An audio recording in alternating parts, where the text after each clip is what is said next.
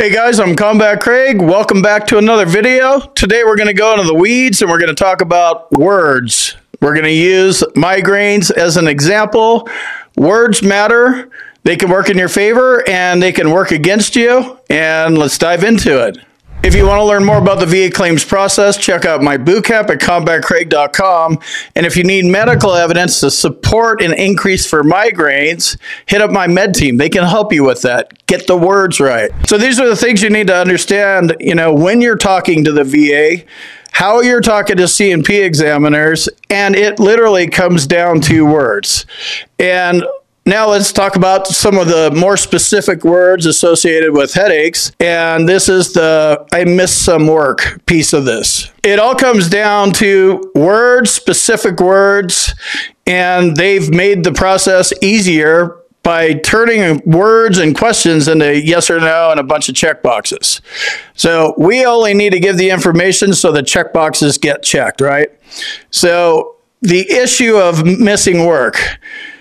That's not very specific to me at all, and here's why. If we look at the VA rating criteria for a 50% VA disability rating for migraines, it says this 50% with frequent, completely prostrating, and prolonged attacks productive of severe economic inadaptability. Like that's the actual law verbatim. Guess what's missing in there? I'm missing some work right? What's happening here is very frequent, completely prostrating, which means laying down. That's a call that the doctor makes. They say whether you're laying down or not. And prolonged attacks, right? And they happen so often that it causes you severe economic inadaptability. So the 50% rating means you have uh, more than one migraine a week, right? Maybe you have two or three migraines a week and we don't control them they just come on right? So of course it's going to impact your work. You may have gotten fired because you missed so much work because of uh, migraines. Uh, you could keep your job and uh, still have severe economic inadaptability but is it happening at work? Are you even mentioning that part? A 30% rating which is where you're at that's one migraine a month. That's some work, you know, whatever. It, that's a lot, but let, us just say that's once a month, 12 months, right?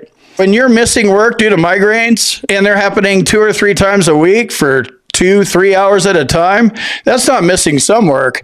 That is a huge problem. That's like 12 of them a month for a year. That's 144.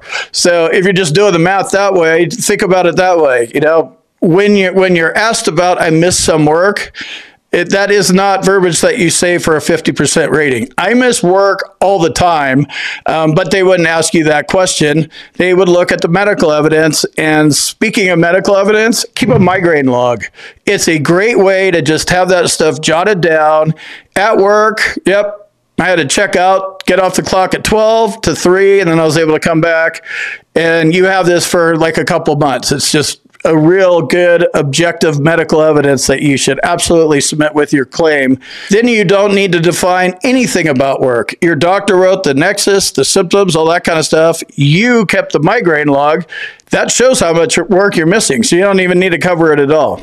So the VA claims process is frustrating. The best thing you could do is advocate for yourself and understand what you're doing. I know it doesn't make sense that you should have to learn legal terms and medical terms, but that's what most of us end up having to do. We don't turn ourselves into doctors and lawyers, but we understand our disabilities and how to talk about them and exactly what to say and what not to say saying too doctory words versus not saying enough.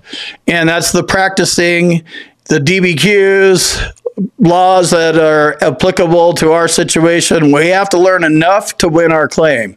So this is a huge part. They quote us, they use our words against us all the time. And the only way you can even see if that's happening if you get your VA claims file, which, you know, you may not have even heard of that. This is all written down on the record, and the stuff that I said for the first 27 years was just stupid because I thought I was talking to a doctor that cared.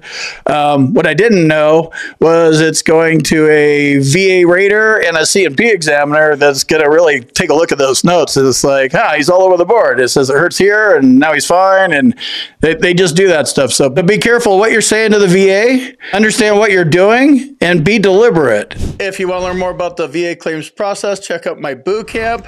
And if you need medical evidence, which is a huge part of a medical disability claim, contact my med team. There's a link for both in the description.